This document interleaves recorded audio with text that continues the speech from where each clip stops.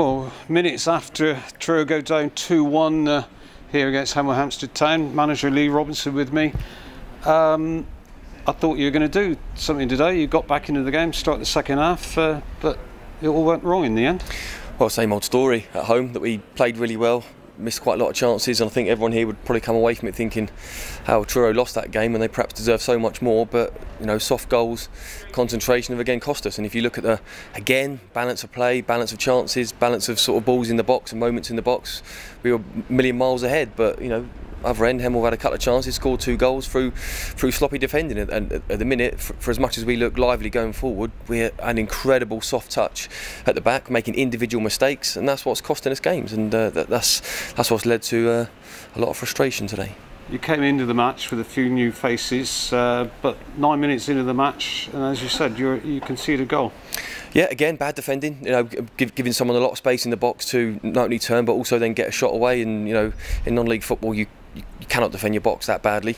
Um, so, um, but actually, in, ter in, terms of the new faces and, and, the overall performance today, we can't be that unhappy to be honest with you because in terms of the football that we played and, and certainly the fitness and freshness looked a, a, lot lot better but unfortunately come five o'clock none of that matters if you make mistakes that cost goals and that's what's happened today because one of those new players uh, Dan Rooney did well getting you back into the game three minutes into the second half and uh, from then on, really, it looked as if it was a matter of you know when the second one was going to come for Truro. Exactly right. At that point, only for most of the second half, only one winner. Um, uh, but then you know, as, as, we're trying to push forward, you know, desperately trying to get a winner, counter attack, corner, didn't mark our man from the corner, balls in the net, and everyone's feeling sorry uh, sorry for themselves again, and that's unfortunately our story at the minute, and it's incredibly frustrating. It's been a suggestion that Truro have been a bit soft conceding goals from dead ball situations. I mean, but it's pretty basic at the end of the day. What can you do about it to get that drilled into the players' minds that they've got to do better? Well, do you know what? That that was something that was put to me before my first game, uh, actually at Gloucester, before you know, obviously before we'd even taken over. And I did, did say to the players before the game that we will never or we shouldn't ever have to be training defending set pieces for the simple reason is that all it comes down to is do you want to win it more than the more than the guy you're marking and simple fact at the minute is we don't we don't it, does, doesn't mean enough for us to win the ball uh, ahead of the person we're marking and that's that's what leads to that's what leads to set piece goals against as again happened today and and let's talk about the, the new faces before we try and sum up the last few minutes of the match but um, Dan Rooney, uh, Jordan Bentley, River Allen returning. Uh, they all put in put in a good show today. I thought. Yeah, all very good and add, added to the the uh, fitness and the dynamism, um, and all three really good on the ball as well. You know, Jordan certainly was putting a very mature performance for a young lad um, at this level, playing at the back. So um, yeah very very happy with all three. Um, you know, certainly those three can feel unlucky to be on the on the losing side today because they, they literally couldn't have done any more in terms of on the ball and their work rate. Um, but else, uh, uh, elsewhere today it didn't happen. And that's why we got no points. And people will look at the papers tomorrow today and see Truro City get two red cards. Um, it wasn't a dirty game, though, was it?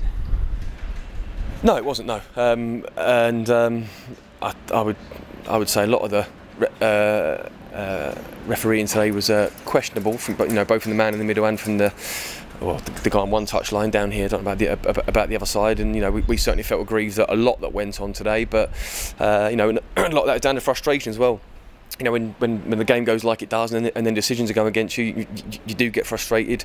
We certainly felt with Noah's red card, which he, he didn't have any um, there's nothing he could do. The guy was clean for on goal, but we sort of felt that, you know, the bloke was standing in our half completely on his own offside when the ball was played forward to him, and then went back into their half to get the ball, but no offside flag was forthcoming. So uh, that unfortunately led to Noah's red card, and myself and Michael getting very, very frustrated, which you have to apologise for. But then again, everyone's got a breaking point, and when stuff like that so blatant goes against you, it's kind of hard to keep your emotions in check sometimes. So I, I, hadn't actually mentioned that you and Michael got sent off as well, but uh, well, we were part of the red cards, but yeah, you were shown the well, shown or told to get out of the dugout. But um, but was that just because you're so sort of I don't know, frustrated with the way that the game had gone before that, or yeah, completely, yeah, complete frustration. You know, it, it gets the better of us all at some point, and you know, certainly did uh, today. Uh, you know, can only obviously only um, I apologise for that. But um, yeah, we, we, just sort of felt that, you know, going down to going down to two one, which we didn't felt we deserved, and conceding such a bad goal,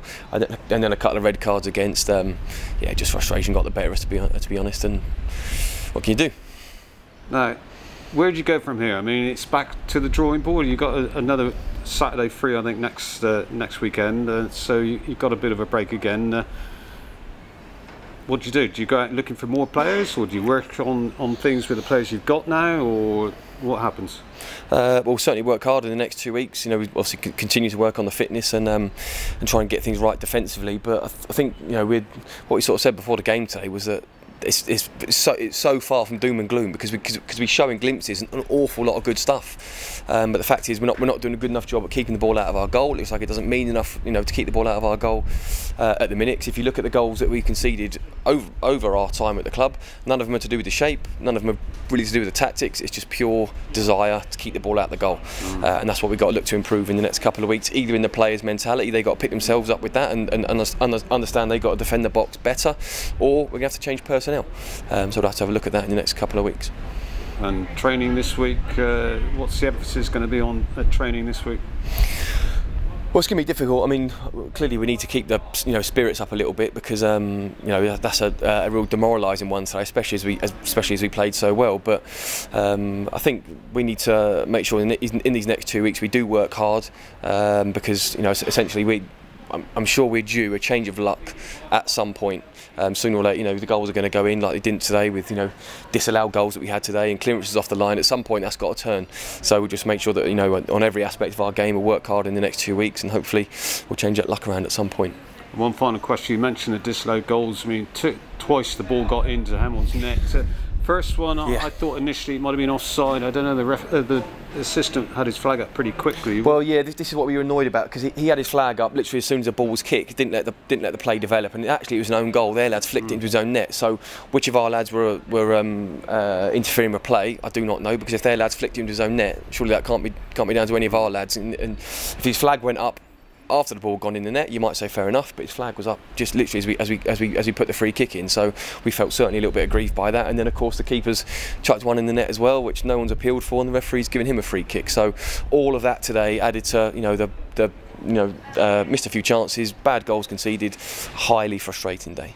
When it's not going for you, Leigh, it's not going for you. Exactly right, exactly right. But but but a certain amount of that we can help ourselves, um, which at the minute we're not, and uh, we need to change that and quick.